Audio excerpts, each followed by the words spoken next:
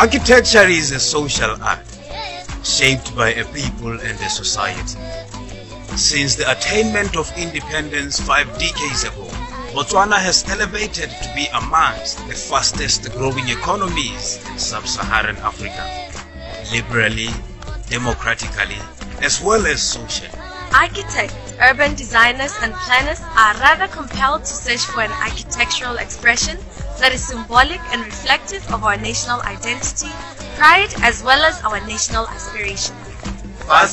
live It is for this reason that Gaborone City Council, also known as GCC, the heartbeat of the city, has called upon designers to redefine the space that is the heart and soul of the city by creating iconic, commercially functional monuments in honor of our cultural heritage.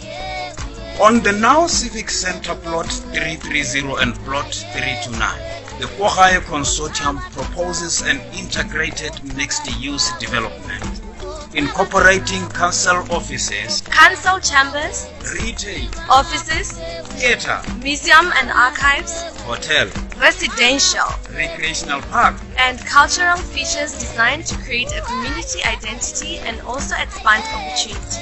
In the heart and soul of the Diamond City, let's embrace the Gaborone Civic Park.